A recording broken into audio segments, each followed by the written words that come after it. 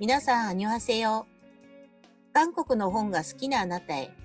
話題の本のゲストトークや注目の新刊情報をお届けするインターネットラジオ、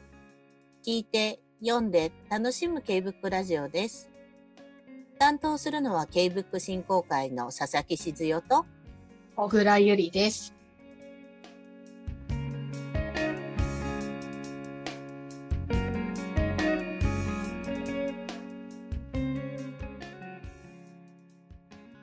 5月12日の配信は、皆さんの読んだ K-BOOK の感想や、私たちの読んだ本を紹介する、私これ読みました、をお届けします。さて、今回はどんなラインナップになるのか楽しみです。それではまずは私の方から、ツイッターに寄せられたものをご紹介します。これまでまだ紹介できていなかった投稿などからお届けします。最初は、栗林幸さん。栗林さんが2019年1月1日に感動して書かれていた投稿を以前改めて竹付けして、これ忘れてはいけませぬと紹介してくださっていました。皆の衆、これすごいんですぞい。チョンミョンガン著、斎藤真理子役、将軍社より刊行されたクジラです。すごい面白い。ちょっとないです。強いて言えば、マリーズ・コンデやトニ・モリスンの作品を中島敦が書いたみたいな。女たちの凄惨な人生、どん底のおかしさに満ちた叙述、開いた口が塞がらないほどのイメージ、と紹介していただいていました。実はこのクジラは現在イギリスの国際ブッカー賞にノミネートされており、その行方が気になるところです。続いてもう一人、川原玲香さんよりいただきました。作家の読書の仕方、作品の舞台となる時代、社会の描き方について学びが多かった一冊として、ワンダーボーイ、キム・ヨンス著、キム・フナ訳、クオン刊行について、ノートの記事で丁寧に紹介してくださっていました。その一部ですがご紹介します。小説ワンダーボーイは、15歳の少年、キム・ジョンフンが様々な人と出会い成長していく物語だ。ジョンフンには母親についてはっきりした記憶がない。唯一の家族だった父親が交通事故で死んでしまい絶望している。しかし、父を亡くした交通事故をきっかけに、ジョンフン自身は他人の心が読める能力を持ったため、それを軍部の人間に利用されて、テレビ出演させられ、ワンダーボーイとして注目される。中略。私は後に父親代わりの存在となるジェジュン氏がジョンフンに読書の方法について話すセリフに惹かれた。ジェジュン氏の言葉は著者のキム・ヨンス氏の読書の仕方だろう。こうした考えをもとに本を書くことに取り組んでいるのだと思い興味深かった。ここからは、えっ、ー、と、本書内の引用です。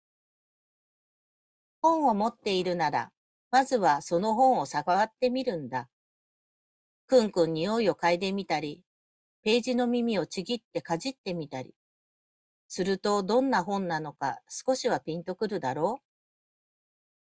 次に本を開いて著者の言葉と目次の内容を読んでみる。ほとんどの本にはカバー表と裏に何か書いてあるが、それを読めばどんな内容なのか90%察しがつぐ。次は本を閉じて想像することだ。その本のテーマについて自分は何を知っていて何を知らないのか。もし自分が同じ構成で本を書くとしたら、どんな内容でページを埋めていくのか。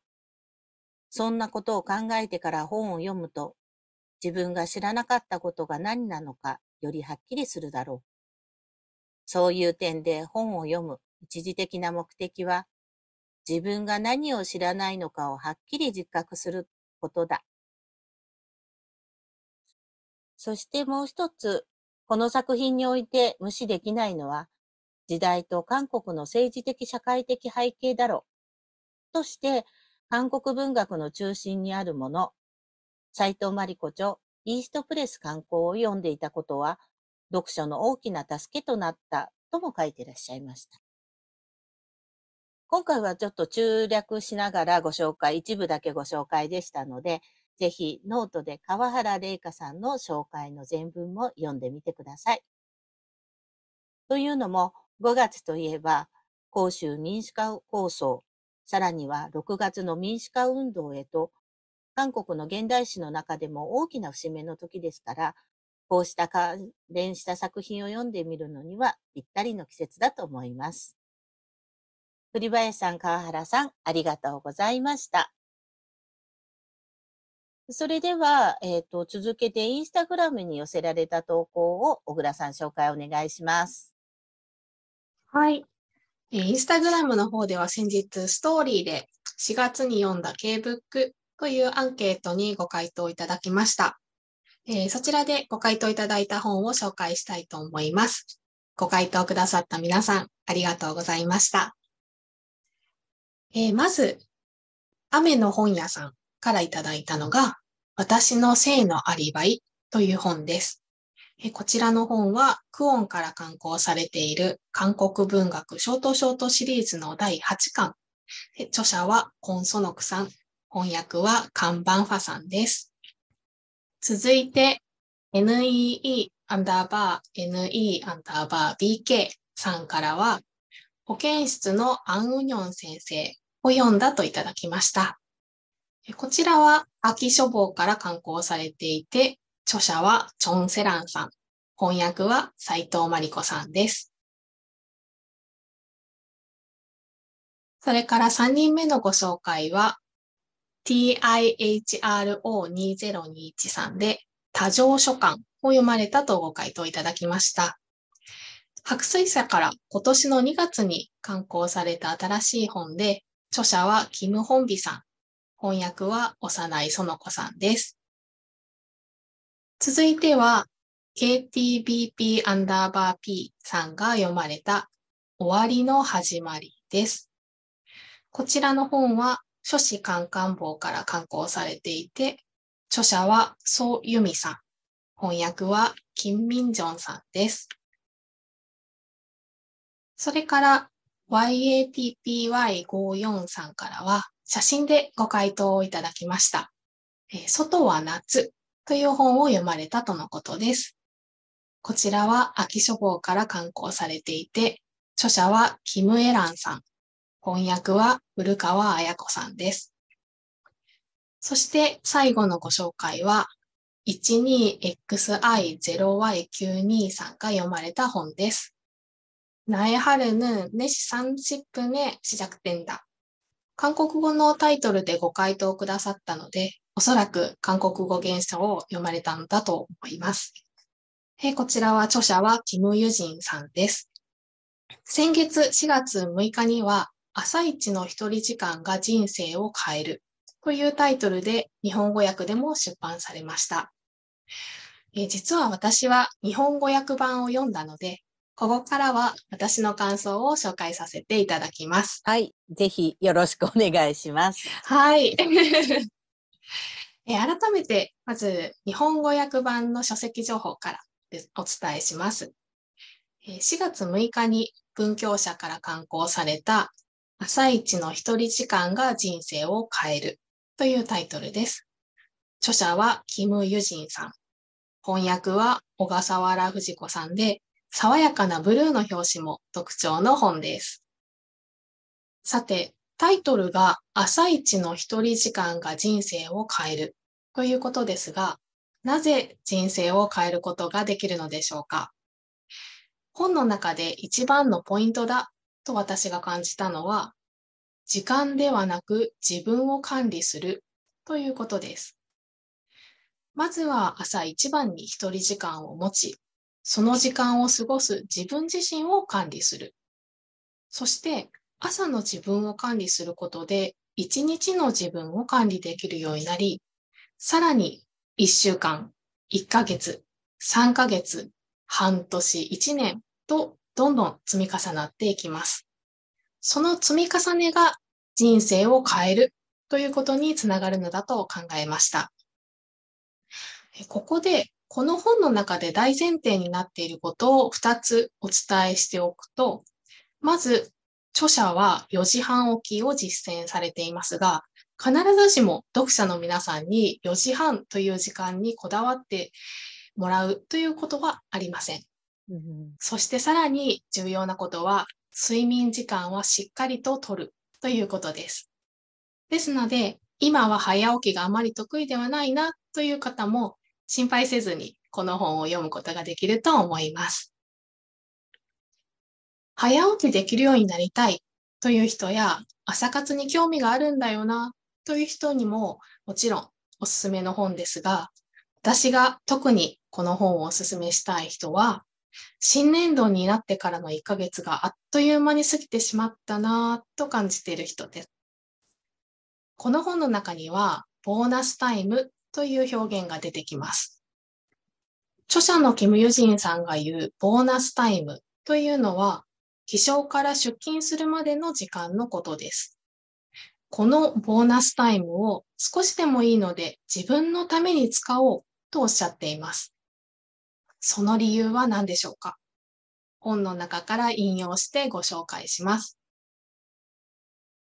ボーナスタイムは心理的に干渉剤になってくれる。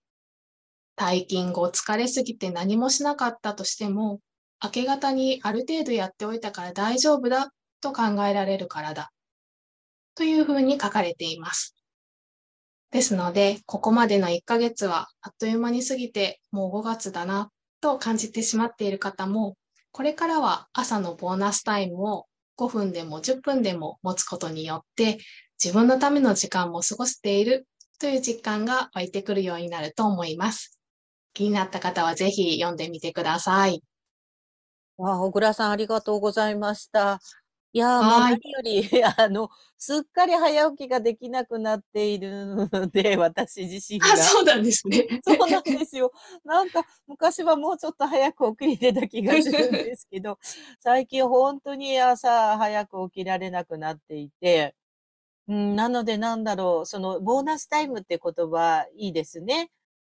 なんか、ですね。はい。うん。で、自分自身考えてみても、まあ、つか、ね、仕事をして疲れて帰ってきて、あと、夜の時間たっぷりあるようだけれども、意外となんかもう夜の時間になるとぼーっとしてたいなって思うことが 多いので、逆に確かにエネルギーをチャージして起きた朝っていうのは、やっぱりこう大切な時間なのかなって思っていた、思いながらも実践できないでいたので、私もちょっとね、この本をもう一回読んでみて、なんだろう、私にとってのボーナスタイム、そこを上手に使えたらなって思いますし、あの、はい。小倉さんが 書いていた、本当に新年度始まって1ヶ月あっという間だったなって 実感しているので、私自身も少し、あの、生活を変えていきたいなと思います。小倉さん自身はどちらかというと、だけど、あの、朝方のの時間を有効に使ってるって前言ってましたよね。そうですね。まあ、もともと、こう、仕事が始まる前にも、うん、あの、比較的こう、時間を取るように、うん、あの、朝ゆったりめで過ごしてはいたんですけど、あの、この本を読ん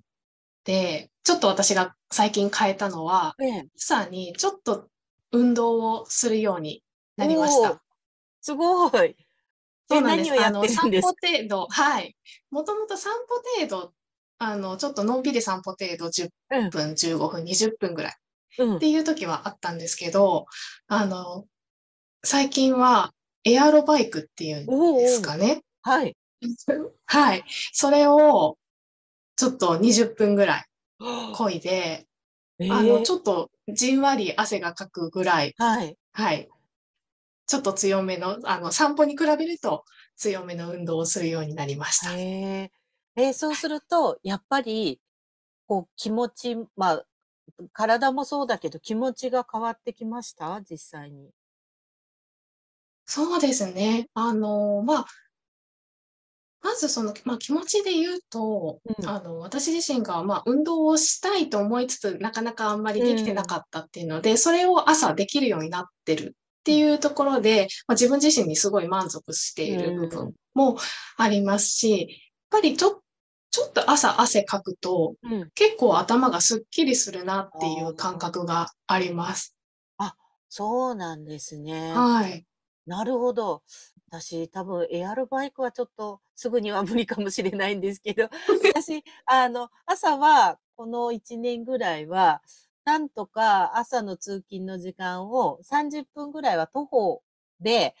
あの、ふああ、はい。駅をだいぶ前に降りて、30分ぐらいは徒歩で通勤するようにしてたんですね。だはい。けど、暑くなってくると、会社に着いた時大変じゃないですか。そうですよね。そうなんです。はいはい。で、それがいつも悩みでだったので、そこの、あの、本の話とかを聞いた後に、あ、であれば少しその散うん、徒歩の通勤の時間を逆に言うと本当にちょっと強めの散歩として、朝の時間にやって、ちょっと一汗かいて、すっきりして通勤するみたいな、ちょっとパターンを同じ30分の歩きを変えてみようかなっていうふうには、ちょっと心密かに 決めているので。いい、いいですよね。うん。実践できたかどうかは、いずれ、ケーブックラジオで ご報告したいと 思います。はい、ありがとうございました。はい。えっと、ではですね、続けては私が読んだ一冊をご紹介します。ちょっとね、手前味噌で申し訳ないんですが、私があの勤務もしている、クオンから刊行されたカメラを止めて書きます。ヤンヨンヒチョ。この作品をご紹介したと、したいと思います。こちらの作品は、えー、昨年公開され大きな話題を集めた映画スープとイデオロギーの監督ヤンヨンヒさんによる書き下ろしの自伝エッセイになります。えー、著者のヤンヨンヒさんは家族を題材にしたドキュメンタリー映画作品でよく知られています。ディア・ピョンヤン、愛しきソナ、そしてスープとイデオロギーの3作品は、家族ドキュメンタリー映画3部作とも呼ばれて、多くの話題と人気を得た作品の監督であります。他にもヤン監督自身がご自身の実体験をもとに書き起こしたフィクション映画で、今なお北朝鮮で暮らす家族を思い書き下ろした作品、家族の国作品でも知られている監督です。そんなヤンヨンヒさんが、えー、こうして家族を取ることになったのは、それは自分のバックグラウンドと広く深く向かい合うことで、その behind story やなぜ撮り続ける中で撮り続けているのかを感じ、その感じた思いを素直な語り口で綴られている作品です。そしてもう一つ、このヤン・ヨンヒさんの一家の話を通じて、日本と朝鮮半島が歩んできた道、家族、そして私という存在自身を見つめるきっかけにもなる、そんな一冊になっていると思います。え私自身が作中で印象に残った箇所ももちろん何箇所もあるんですけれども、あの、まだ、えっ、ー、と、ディアピョンヤンを撮る前ですね、えっ、ー、と、映画の勉強にとアメリカの大学院に留学したヨンヒさんが、お父さんの古希を祝おうということで、えっ、ー、と、家族みんな、アメリカにいるヨンヒさん、それから大阪に住みご両親が、えっ、ー、と、みんなで一緒に平壌行きを計画するんですね。えっと、平壌で、そのお父さんの故郷を祝うパーティーをしようということです。ですけど、あの、ちょうどアメリカにいたヨンヒさんに、あの、9.1同時多発テロが起こってしまって、その時に、ヨンヒさんはその時点では朝鮮籍であったので、朝鮮籍っていうのはパスポートは持てないんですね。ただ日本に再入国が許される許可証だけを持っている身分なので、ヤンヨンヒさんは改めて自分が手にしているその再入国許可証しかないという自分自身をの、なんていうのかな、立場をとても不安に陥ってしまっている様子には、あの、とても胸を締め付けられるような思いがしました。で、ただそんなヨンヒさんをそこに登場してくるのが、大学院の教授や事務方の人々がいるんですけれども、その人たちが混乱しているヨンヒさんに対して、とても的確に、そしてスマートに助言やサポートをしてくれるんですね。なんだかその姿がすごくあの美しくて、うん、人は人に生かされるのかなっていうことを改めて強く感じる部分でした。そういえば、小倉さんは映画スープとイデロギーはご覧になりましたか？実は見れてないんですけど、あの、うん、でもいろんなところで、少あの、まだ、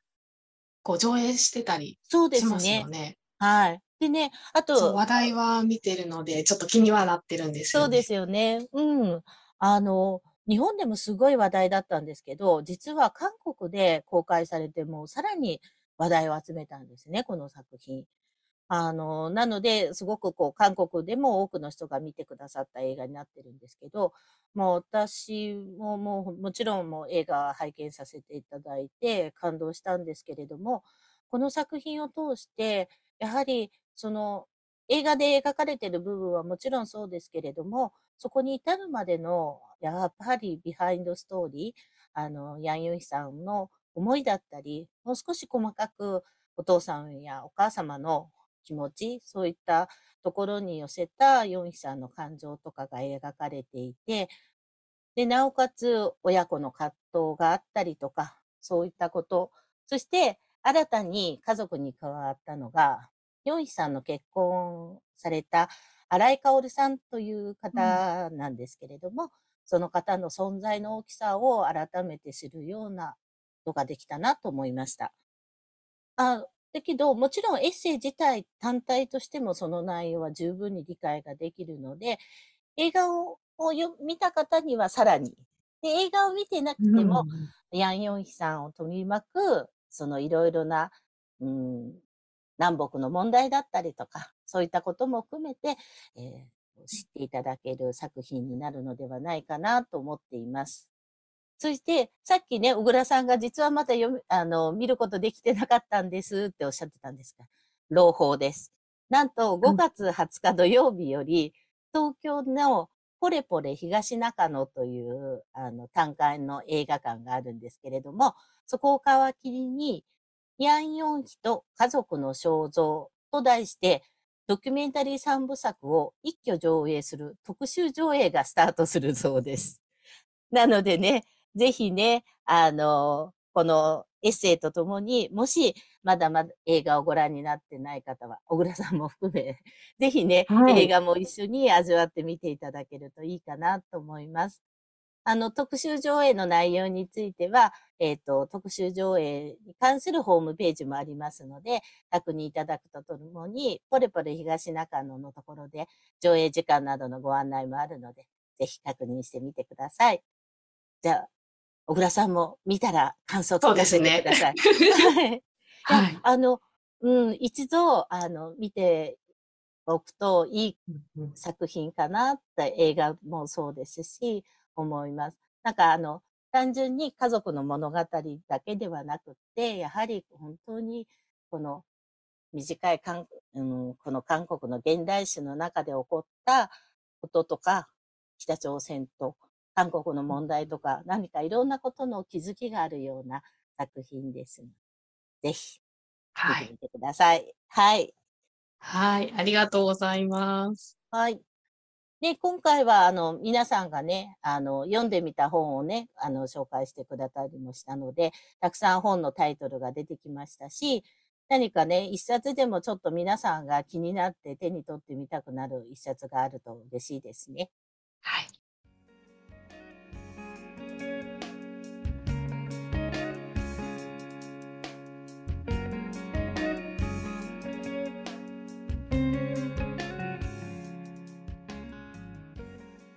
れでは、今週の新刊とイベント情報も、小倉さんよろしくお願いします。はい。本日は2冊の新刊をご紹介します。1冊目は、川出消防新社から5月12日に刊行される古本屋は祈願収集家です。こちらはユン・ソングン著、清水博之役です。著者のユン・ソングンは2007年からソウルで不思議の国の古本屋を経営しています。その古本屋ではお客が欲しい絶版本を探しながらその人生の物語を収集。お客が語るのは奇妙でシュールで感動的な実話。本を探すまでの過程もミステリー小説のようです。2冊目は、ちくま書房から5月18日に刊行される隣国の発見日韓併合期に日本人は何を見たかです。こちらの著者は、テイ・タイキン。日韓関係についての書籍も多く書かれています。日韓併合期に朝鮮に暮らした日本人は、その自然や文化に何を見たのか。哲学者の安倍義重や美術評論家の浅川匠ら、優れた観察者のエッセイを通じて、朝鮮統治期に新たな光を当てます。続いては、イベント情報を1件ご紹介します。5月23日火曜日19時より、韓国学ハンマ団著者セッション第2弾、近代文学、格差と若者、K-POP ファンダムの言葉がチェッコリにて開催されます。第2回のテーマは、植民地時代の名作小説や韓国の若い男性たちを取り巻く社会状況、そして K-POP ファンダムで言葉が生まれる現場についてです。著者たちが韓国学ハンマ団の執筆に込めた気持ちや思惑についても伺います。イベントの詳しい情報は、ジェッコリ公式ホームページ、または SNS をご覧ください。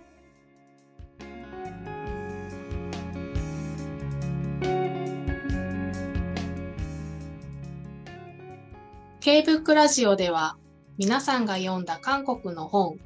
K-BOOK の感想をお待ちしています。Twitter や Instagram、YouTube チャンネルのコメント欄にハッシュタグ K-BOOK ラジオをつけて感想や番組へのコメントをお寄せください。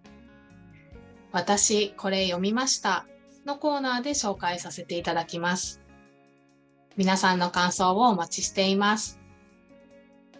なお、K-BOOK ラジオは Spotify、Apple Podcast、Google Podcast、YouTube でお聞きいただけます。お好みのプラットフォームでチャンネル登録をよろしくお願いします。毎週ご紹介した書籍やイベント情報は各回の概要欄に詳細情報がありますので、ぜひチェックしてください。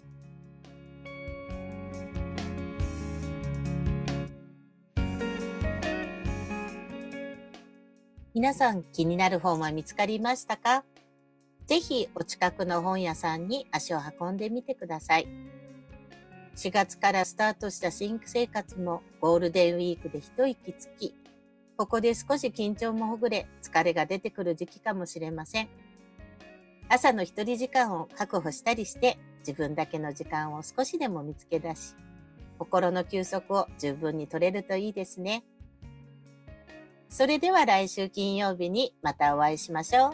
アンニョン。アンニョン。